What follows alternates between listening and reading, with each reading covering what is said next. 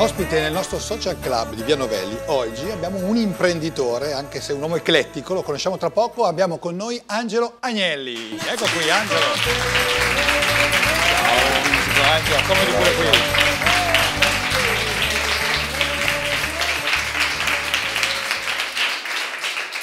Imprenditore, ma tra poco tu sai chi sei, ma sai l'idea che dai di te attraverso i social? Te la diciamo potremmo avere delle sorprese. Bene. I nostri ragazzi, che sono i ragazzi del Romero di Albino, tra l'altro.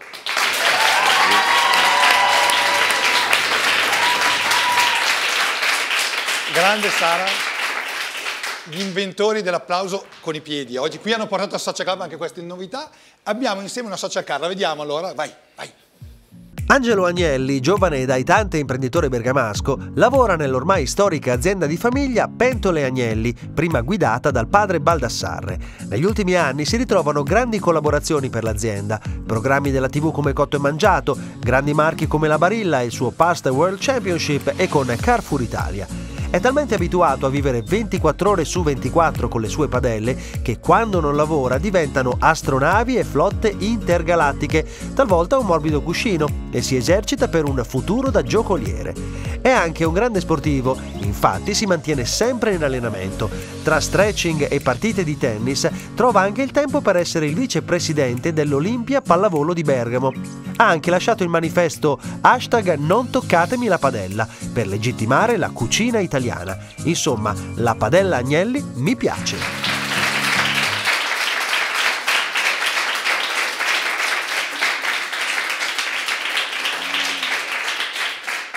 Troppo bravi, pensavo trovaste qualcosa, invece sono stati bravi, ti hanno dipinto proprio. Ti sei ritrovato? Sì, sì, sì. Allora, Angelo, cominciamo a dire, sei un figlio di papà, Angelo, tu ti definisci figlio di papà oppure quando te lo dico ti incavoli? No, sono figlio d'arte. Sicuramente ah, mio, mio, padre, a partire da mio nonno, da quella che è la nostra, è una storia lunga, una storia che nasce nel 1907 col bisnonno. Cosa faceva il bisnonno? Ma, bisnonno mh, mm, nasce a Milano, resta orfane giovane e studia da orefice, per cui da ragazzo di bottega viene mandato nel Montenegro per imparare questi disegni, queste arti damascate da lì scopre un metallo che allora si utilizzava in oreficeria, che è l'alluminio. Allora addirittura era così prezioso da esatto. usarlo in oreficeria. Esatto, metallo nuovo, impara a lavorarlo e torna in Italia, a Bergamo, non si sa come, non si sa ah, perché. Non sa perché è venuto a Bergamo, non avete mai Con scoperto. questo pezzo di alluminio in mano si presenta a 25 anni in una banca, ho un'idea, un progetto e apre in via Fantoni 8 lo stabilimento che poi ha dato atto a tutte le aziende. Lui cosa ha cominciato a fare? Subito delle pentole oppure con l'alluminio faceva no, altre? Ha cominciato a fare i primi, pensate, è stranissimo, i primi tubi in alluminio che venivano utilizzati per fare le camere d'aria nella vecchia Pirelli. Si stava passando dalla ruota piena alle camere d'aria e lui si inventa questi tubi in alluminio fatti con questa trafila molto artigianale, li lavora, li salda molto bene, li rende precisi ma fa questa prima commessa con la Pirelli e da lì per magia Caspita, diventa un imprenditore è, vero. L'alluminio entra nel nostro DNA. Perché l'alluminio, dire c'era una vita prima dell'alluminio, ricordo una vita prima del telefonino, non una vita prima dell'alluminio, invece tu non lo porti. In, casa, in Casagnelli Poi, sì. tra l'altro era orfano, un po' come viene in mente Rizzoli, queste persone uh, che appunto senza famiglia venivano dai Martiniti, c'erano questi collegi a Milano, esatto. però che si sono fatti da sé, insomma, in questo caso. Da sé e soprattutto con l'artigianato, con un'idea, hanno saputo sviluppare un'idea. Facciamo un salto, perché tra l'altro anche gli altri agnelli, quelli di Torino, diciamo gli agnelli poveri no, perché però comunque siete lì, ah, anche loro hanno avuto una storia molto, diciamo, antica, perché avevano vinto dal bisnonno e tutto il resto. Tuo nonno invece, questo era il bisnonno. Bisnonno. Il nonno, eh, lui, magari il nonno voleva fare, so, il pittore, invece no, continua, perché tutto... Ma noi lo dico sempre, noi, una parte del nostro DNA è alluminio, per cui non, non, quando nasciamo non ci domandiamo nemmeno cosa farai da grande? Ce l'abbiamo dentro.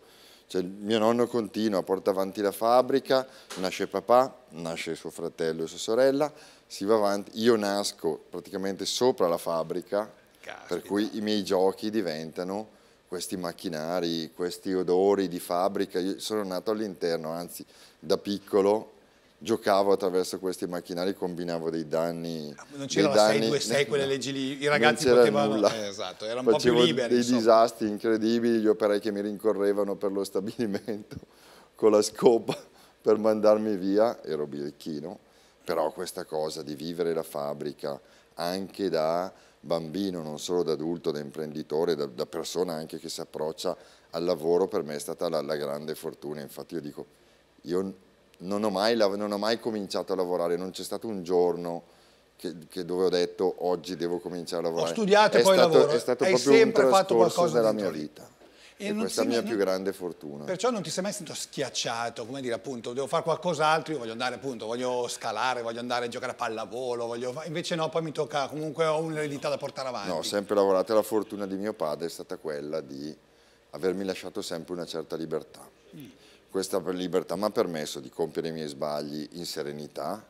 Tipo uno sbaglio, perché Ah, tutti i successi. Sbagli li, li- li commettiamo tutti i Eh, giorni. tipo, ma quella- una tutti. cosa dici, caspita, quella cosa ho sbagliato. Ma una scelta sbagliata di un macchinario. Io mi, mi- sono molto appassionato, eh, avendo vissuto in mezzo a queste macchine che vedete anche È un'officina in proprio. mezzo all'officina, ho sempre avuto la passione dei macchinari. Qualche macchinario non è stato azzeccato nella produzione, è stato dovuto- sono dovuto- abbiamo dovuto fare dei correttivi, ma questo fa parte della vita di imprenditori. L'imprenditore lì anche Rischia l'imprenditore. perché deve sbagliare. Ogni E tanto papà ti ha fatto rischiare perché spesso le figure dei padri, i padri che sanno fare il loro mestiere, è quello di tenere un po' sotto una campana di vetro i propri figli o comunque di non saper gestire. Invece tuo padre è uno che ti ha lasciato fare, ti ha Mio, lasciato mio sbagliare. padre mi ha lasciato sbagliare, tuttora papà in azienda lavora, è il cuore pulsante dell'azienda perché tutta la parte amministrativa la gestisce lui, poi l'azienda che è diventato un gruppo di aziende, Eh. la gestisce lui, ma tuttora lascia me, lascia ai miei cugini, come lo stesso mio zio, grande, grande autonomia e questo secondo me è, per un passaggio gener- generazionale è veramente importante. Andate d'accordo anche tra cugini, perché non è facile anche d'accordo, eh, ma che fortuna avete voi, fratelli. Davvero, c'è un sì. buon rapporto. Sì, sì. Anche in questo tante famiglie imprenditoriali si sono poi eh, sfaldate perché poi ognuno, Eh anche soltanto perché abbiamo teste diverse, cioè non perché c'è un buono o un cattivo, ma abbiamo idee diverse. Invece voi riuscite, come fate? Vi trovate una riunione di famiglia? Ci eh, troviamo una volta ogni due o tre mesi, riunioni di famiglia, si parla, si racconta, raccontiamo i nostri problemi, dove ci sono dei problemi insieme si cerca di risolverli, sempre con la concezione però di lavorare in autonomia, cioè ognuno ha sua- il suo incarico, ognuno porta avanti quello che è il suo modello di business, la sua azienda ed insieme sinergicamente queste aziende diventano gruppo per cui trovano strategie comuni, un po' elementi comuni. fate, insomma. Esatto. Ognuno suona il suo Ognuno suona il suo strumento. strumento, cerca di suonarlo al meglio, quando uno non ce la fa alza la mano e gli altri vengono subito in Come avete aiuto. vissuto i tempi della crisi? Tanti hanno dovuto chiudere, hanno dovuto ridimensionarsi, hanno avuto dei problemi. Voi siete stati fortunati, avete avuto una sacca positiva oppure è stata più dura anche per voi? Ma essendo tante aziende differenziate anche noi la crisi l'abbiamo sentita, certe aziende meno, certe aziende più. Siamo stati molto coraggiosi durante la crisi, forse anche un po' pazzi, ma l'imprenditore deve essere anche Tipo, un po' cosa avete pazzo. fatto? Beh, abbiamo investito. Quando c'era la crisi, quando tutto si fermava, c'erano le casse integrazioni, si diminuivano i dipendenti, eccetera, noi abbiamo investito, abbiamo comprato macchinari nuovi, abbiamo cercato di automatizzare le linee. Questo è molto importante, non vuol dire automatizzare, non vuol dire eh, mettere da parte il dipendente o licenziare l'operaio. Abbiamo fatto fare all'operaio una trasformazione, l'abbiamo reso da operaio, cosa che secondo me la parola operaio già oggi non ha più senso perché non dovrebbe più esistere come figura, l'abbiamo fatto diventare tecnico. Per cui aggiungendo questi automatismi che sono la robotica, oggi il life motive dell'imprenditoria è 4.0, ecco. Noi l'abbiamo vista, l'abbiamo vista un po' prima, abbiamo investito, abbiamo automatizzato e abbiamo preso questo tempo di poco lavoro per convertire la figura dell'operaio e farlo diventare un tecnico specializzato. Io dico spesso quando vengono qua a trovarci, e fortunatamente siamo un bel club, noi anche con i ragazzi del Romero di Albino ad esempio, e quando dico Romero di Albino cosa si fa? Nicola!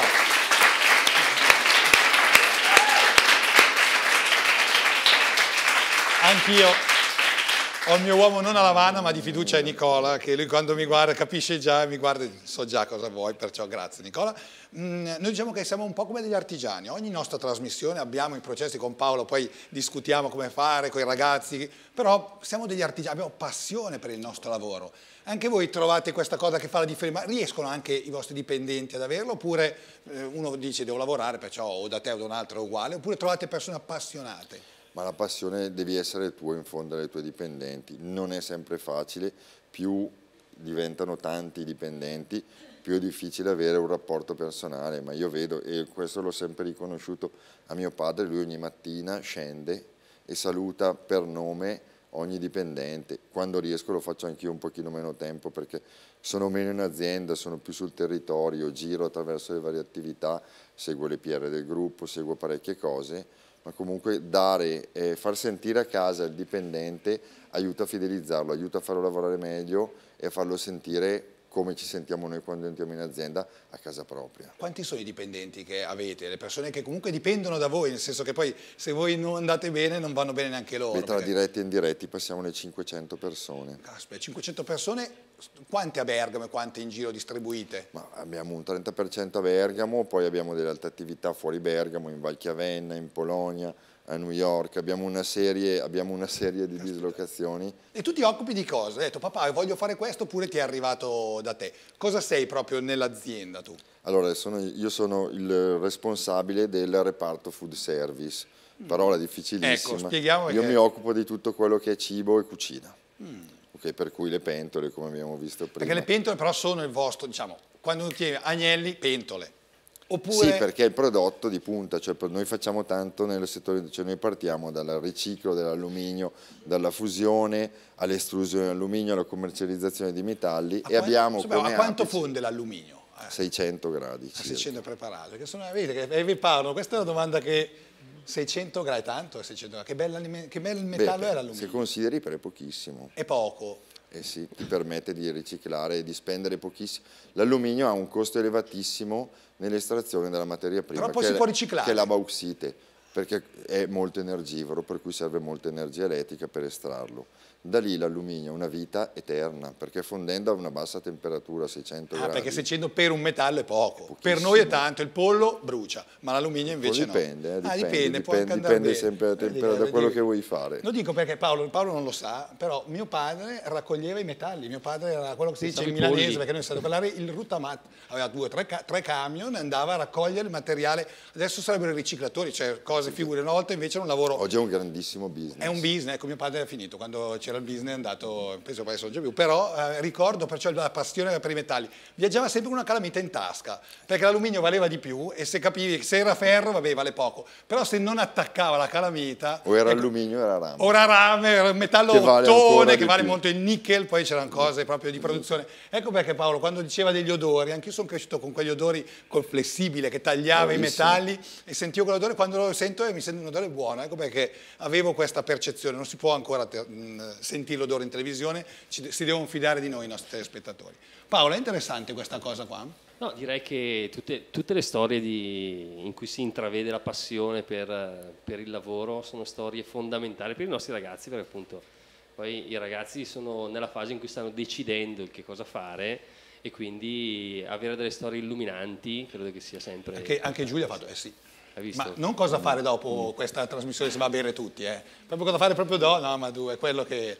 Cosa vuoi fare? Qui esce una cosa in comune poi, la passione. Tutti quelli che arrivano qua di solito ci dicono seguite la vostra passione, fate qualcosa che vi appassiona. No, è un po' il, il minimo comune denominatore. Eh? Questo esatto, ho imparato sì, a scuola. Sì. Il minimo comune denominatore è una parola che ho imparato a scuola, vero? È bravi in matematica. È bravi in matematica. Angelo, tra l'altro ho preparato anche un'altra cosa per te, la vediamo insieme perché qui intanto sei o Barilla, poi conosci tutte queste persone, li conosci Barilla proprio? Oppure... No, Barilla direttamente no. no. però ho lavorato, ho cominciato con loro a lavorare, avevo vent'anni. Il primo ordine che presi è un ordine di Barilla. Di Barilla, non la pasta ma le pentole. Le pentole. Eh, quali sono invece? E gli chef famosi li hai visti qualche volta? Parecchi, beh ci lavoro tutti ah, i ci giorni. Lavori, tipo Cracco così, sono dei rompiscatole oppure poi non puoi Ma parlare? dipende, guarda, sono sono, comunque sono tutte le persone che hanno veramente hanno avuto un escurso, un mole di lavoro incredibile per arrivare dove sono.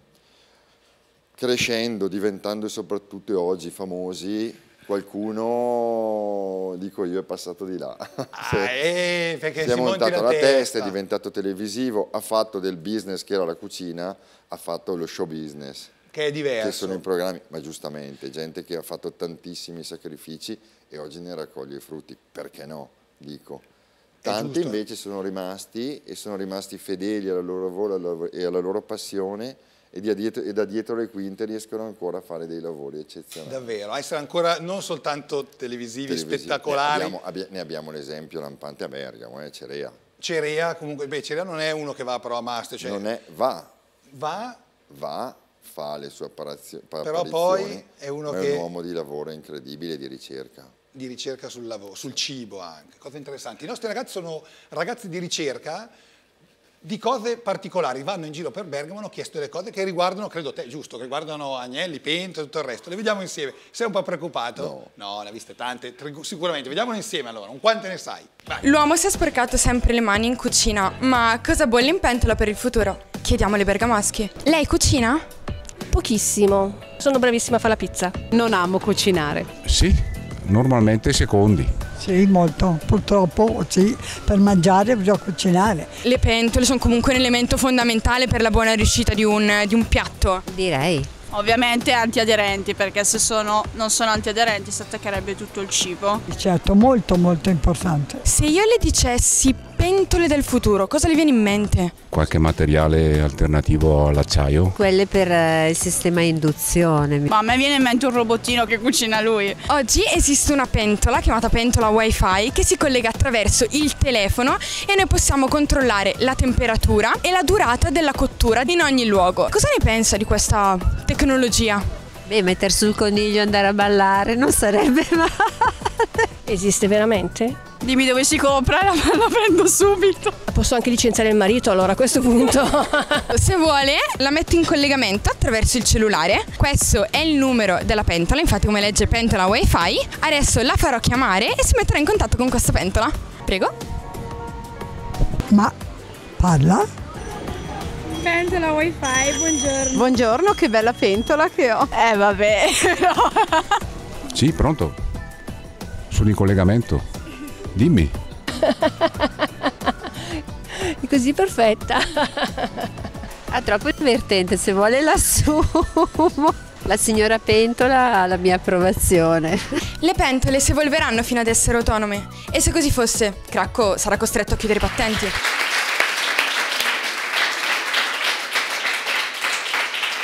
Anche Sara con la tua forcina in testa avevi... E te la sei dimenticata? Eri molto... Non, non sono mai riuscito, non ho avuto neanche mai i capelli per farlo, ma è sempre affascinato questa cosa.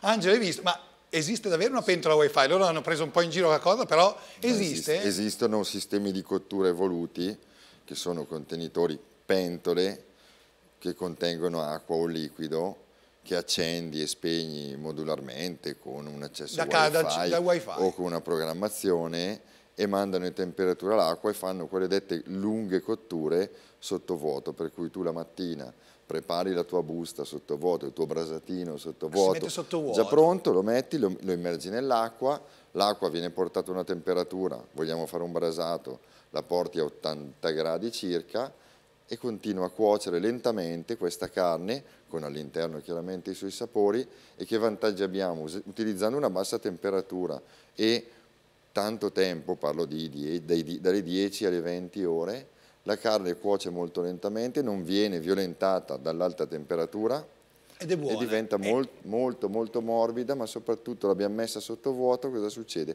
Conserva all'interno tutte le proprietà I della valori carne. nutrizionali, come si dice. Aumenta le vitamine, non vengono rovinate, i principi della carne o quello che andiamo a cucinare Paolo, lo sapevi restano. tu, che qua hai due uova così veloci sempre. Io non, non riconosco nemmeno il nome delle pentole e come mai si chiamano così. No, è presente? male. Eh, come si chiamano? Come male? male. Cioè, Male. facciamo un esempio, è se, se io ti anzi. chiedo questa pentola qua, Quale? facciamola vedere, che si chiama è una pesce- È- è pesce. corretto innanzitutto? Sì, sì, sì, giusto. Io arrivo, ci arrivo a dire che si cucina il pesce, ma perché è fatto in quel modo? Perché vedi, ha la forma del pesce, è lunga e stretta. Se è un pesce palla, no, eh, ma se ci sta anche in una tonda, non posso cucinarlo in una tonda. Sì, ma cosa, cosa ti permette una pesciera? intanto vedi che c'è quella griglia sul fondo che ti fa tenere staccato il pesce dal fondo, per cui il calore non lo riceve mai direttamente, ma lo, lo riceve attraverso il liquido, il condimento che c'è sul forno.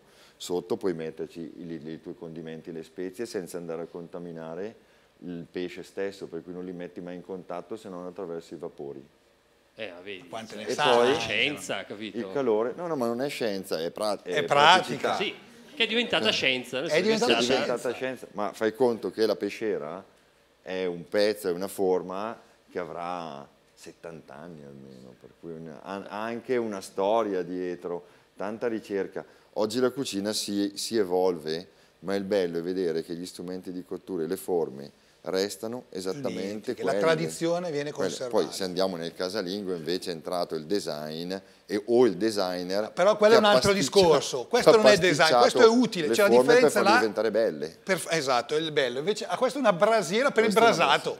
Esatto. No, Pezzature di carne molto grosse. Immaginati un Pezza- cosciotto. un cosciotto dove lo qua sta metti? dentro. Devi mettere una brasiera molto alta perché è anche molto spesso. Questa è una casseruola, non, non è preciso, questa è una casseruola bassa. Quindi il Scusa, non diametro- sei preciso, perché casseruola non da cassola come la No, cassola, no. no. Casseruola è diametro, per cu- diametro, altezza un terzo del diametro, casseruola bassa. Casseruola Se bassa. parliamo di casseruola alta, diametro metà dell'altezza. Se parliamo di pentola, diametro pari all'altezza. Cioè, la- non è che tutte sono pentole, cioè no, sono pentole tu La ma- pentola è la pentola che quella della pasta. per bollire la pasta. Per bollire la pasta. E anche lì il diametro deve essere pari all'altezza perché l'acqua quando bolle riesce a girare in maniera uniforme. Sì, sì, tutto ha un perché. Questo sai che mi fa piacere Angelo, perché la cosa più semplice del mondo, una pentola, un pezzo di metallo, c'è da una vita, da tanto tempo, eh, eppure invece ha un suo perché e poi c'è questa ricerca che si fa, cioè non è una cosa banale, tanto sono sempre uguali, non solo sui materiali, anche sulle forme. sulle perciò. forme, materiale e forme. E ti dicevo, la casseruola bassa viene utilizzata per Cosa? Per il coniglio. coniglio, perché sono- puoi utilizzare anche un tegame che è ancora più basso. In questo caso casseruola bassa, risotti, Al risotto. perché ho eh. poi comunque bisogno di volume per metterci il brodo. Questo è il tegame che dicevamo. Ah, questo poi- invece è il tegame, fai il grazie alla regia. No, l'ho messa Beh, perché è identica a quella, cioè per me È identica uguale, invece non di vedi che basta. No, Paolo, ti spiego, è l'altezza che cambia. Vedi, questo è un tegame, qui sì che va bene, invece là il risotto perché ci deve spazio per il Devi brodo. portarci il brodo. Il brodo. Ho imparato qualcosa, non cucino, ma tu cucini anche? Sì. Abbiamo qui anche la tua compagna, confermi? Solo con la testa, è un po' un rompiscatole quando cucina. No, adesso solitamente in cucina è perfetto, devo dire. Sperimentiamo. Sperimentate, ma non ti fa cucinare? Talvolta sì. Ah, talvolta, gli concedi questa cosa qua, però di solito anche le cose banali, non... Però mi aiuta, mi aiuta molto. Aiuta molto. Angelo, caspita, non sapevo che avevi questo aspetto duplice, insomma. L'ultima cosa che ti chiedo, il polsonetto. Perché? Cosa serve? Questo qua serve per lo zabaione. Bravissimo, creme. Ho indovinato lo Hai zabaione. tirato a caso, Giorgio. No, Il perché... sonetto qua, qua l'avete in acciaio inox, l'avete recuperato in acciaio inox, che secondo me è il materiale tra l'altro più sbagliato. Più sbagliato. Acciaio, al- acciaio inox, pessimo conduttore di calore. Nel polsonetto non, non conduci mai Calore. sulla Deve essere di che, di che cosa? Di solito lo metti sull'acqua, rame. Rame, il polsonetto Rame di rame. non stagnato. Ho in mente invece Johnny Stecchino quando arrivava e faceva sempre che sbatteva, gli faceva dello gran zabaione perché fingeva di avere questo problema. Quindi ho sbagliato fai gli anche solo l'immagine. Esatto, hai sbagliato, non solo hai sbagliato, Cioè, hai sbagliato anche C'è l'immagine. un'ultima, però voglio capire come mai si chiama così questa pentola che ti faccio vedere adesso. Attenzione, uh, la bastardella, si può dire, sì, perché... Eh, guarda, oh, l'ho trovato così. Ma è però- vero? la Si bastardella, sì, non, non so dirti perché si chiama così, però è un polsonetto più grande, infatti vedi che il polsonetto ha il manico perché lo prendi e monti attraverso, monti la, attraverso frusta. la frusta. La bastardella più grande ha le due maniglie perché non riusciresti a tenerlo con solo un manico per i pesi, ma ha la stessa funzione, serve per fare creme, fare sciogliere cioccolati o diventa un contenitore se devi andare ad amalgamare qualcosa freddo. Grandissimo allora.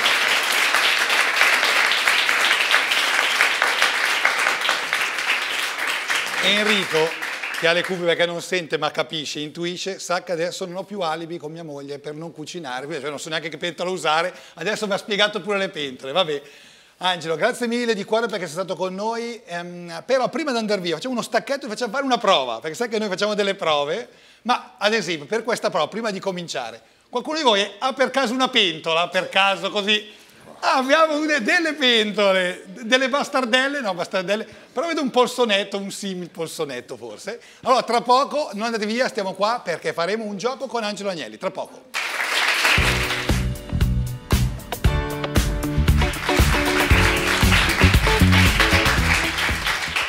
Noi non facciamo pubblicità occulta, non c'è una pentola Agnelli, però sono pentole, come si può dire, casalinghe. La prossima volta avremo dotazioni, sponsorizzazioni, vedremo, ci mettiamo d'accordo. Tu hai visto prima il filmato, c'era una Sì. pentola, non è che ti avevamo detto che tipo di pentola hai visto? Se Era ti- una casseruola alta, alta, se non sbaglio. Sì. Che, che occhio hai? Io, io ho in mente che ha fatto Sara e poi qualcuno che andava in giro e basta. Ma se in questo purpurì di pentole tu la troveresti? Uh, puoi incazzarti, facciamo girare. Allora, potrebbe essere questa. Potrebbe essere questa, allora Questa è vediamo. E poi Sara ci dice se è questa. Cioè mi rendo conto, guarda che pentole abbiamo dato usate. cose. Beh, questo è proprio... Beh, d'altronde se ti piace il tuo lavoro ti piacciono anche le pentole usate del mercato, saranno, ma non so dove, eh, caspita. E allora è o questa. questa o questa. Cioè, puntiamo, puntiamo su questa. Aveva anche un coperchio, aveva anche un coperchio, Beh, è l'unico tra l'altro, l'unico coperchio che abbiamo. Qui non fai fatica. Hai la pentola, Sara? Ah, e va- È questo? Sara, è questa? E vai, avevo indovinato! È una modesta Easy Cook System. Beh, costano care le pentole agnelli oppure... Ma guarda, noi facciamo pentole che vanno dai 10 euro alla pentola d'oro che ne costa 5.000, per cui è un range. La pentola deve essere non rimessa via, ma deve essere esposta in cucina, perché il cuore comunque attraverso, attraverso la pentola ci passa quello che noi mangiamo, è lo strumento che va a trasformare la materia prima in cibo. In dici, valorizziamola, tu Va dici. valorizzata. Eh, per- comprare una bella per quello, così la tengo anche lì che si vede, si deve se vedere. tu guardi le cucine americane, le cucine delle grandi case americane hanno tutte le pentole appese, ma sono pentole che poi utilizzano, a parte che cucinano poco e male. Ma sono, Però, allora, diciamo che eh, che ridono anche i nostri ragazzi, perciò, a parte il tacchino, bisogna- che anche quello è un po' ma sapore, no, sì. però che di solito sa di poco, pompati di, pompati di, acqua. bestia, ma però questo possono insegnarci qualcosa, perché è bello imparare qualcosa anche da chi sembra che non abbia niente da insegnarci. Quello invece di esporre le pentole è una cosa buona. Perché la pentola comunque deve essere un vanto. Chiaramente se la pentola non è tenuta bene e non è bella uno tende a nasconderla. Ma io dico quando mi dicono come mai non fai i manici corti delle padelle che non riesco poi a rimetterle via. Anche lì ha un senso il manico deve essere lungo quanto il diametro della pentola, perché se tu vai, e qua abbiamo, che, io dico sempre che questo è il simbolo della cucina italiana, questa forma, che è la padella e la saltapasta. Salta- però è Quello di- nostra questa. Cioè, Questa è la pentola che, che definisce la cucina italiana. Attraverso questa padella, noi abbiamo fatto anche l'hashtag non toccatemi la padella, Oh, visto ma per prima. quello, perché la padella è quello che differenzia la cucina italiana da tutte le altre. Il cuoco italiano è spadellatore. E Sal- vai di spadella! la salta la pasta, no? E come, come si va a fare? Perché vedere il polso? Allora, intanto vedi che in questo caso c'è un grande difetto, il manico è corto, per cui la leva di quando vai a fare il salto è sbilanciata, per cui avrai troppo peso nella padella e troppo poco peso. Per dare Devi il colpo. devi Perché più è lungo, sforzo. Ma è molto semplice, quando tu vai a saltare, il movimento è questo. Eh, ma è morbidissimo. E riesci a saltare la pasta, cosa fai quando salti la pasta? La pasta esce, si muove, ingloba ossigeno tra sugo e pasta. Sapore perciò. così. Sapore. Simona si arrabbia sempre perché è sporco ovunque. Tutto!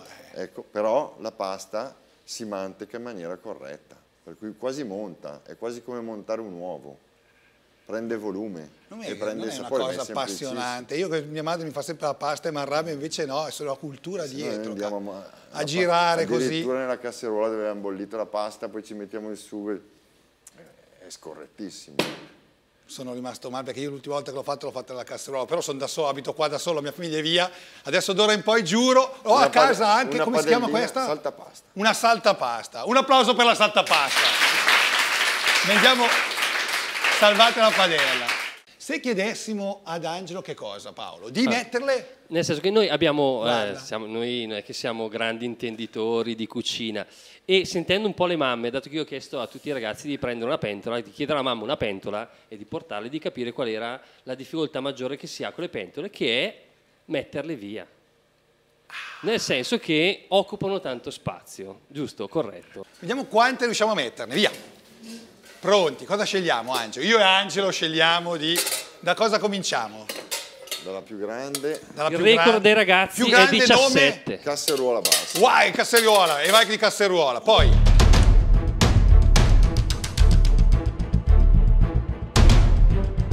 Questa, di chi è questa? Nessuno osa dirlo, ma è bocciata. Si vergogna, vergognati che Questa è delle da buttare. Questa è da, questa, questa- da buttare. Questa mi viene soltanto anche sulla la malattia alla pelle. Scusa, buttala via, via, è andata via. Questa non la vogliamo neanche vedere. Perché ne avevo una anch'io portato da. Avevo portato questa, ma poi mi vergognavo a tirarla fuori. Quando ha detto così ho tirato fuori. Ho visto prima che avevi Eh, detto. ho visto, ma Che non ho usato poi. Che... Com'è è corto questo? Cos'è questo? È una... niente. Non farmi, non farmi Non farmi commentare. dire, non facciamolo dire parolacce. 1, 2, 3, 4, 5, 6, 7, 8, 9, 10, 11, 12, 13, 14, 15, 16. 16. 16, E ne manca una per i il conti. record. Una per il record. Una il record. Ta ta ta ta.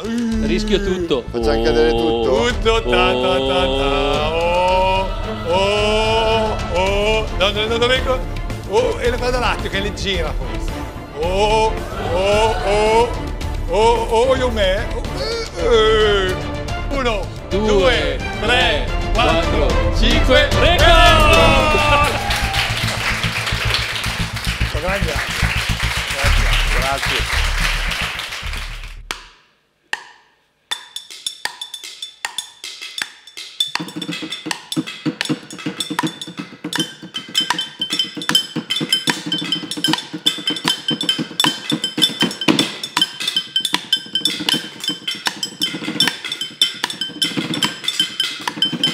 Quanto andiamo avanti?